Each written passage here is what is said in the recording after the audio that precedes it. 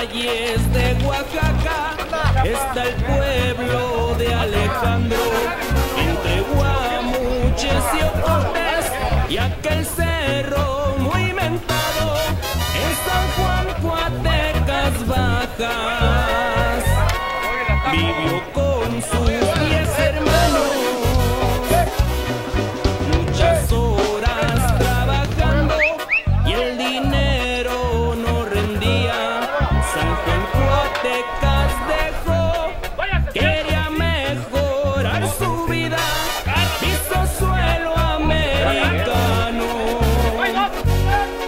Cuando 16 tenía,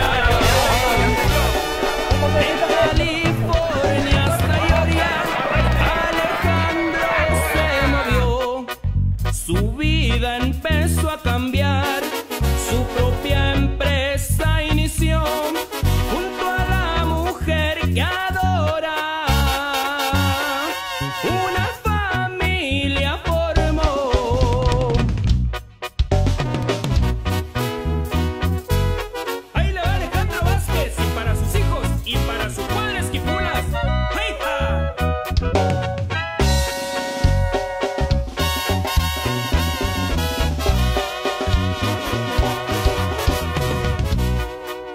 pudo comprar de chico.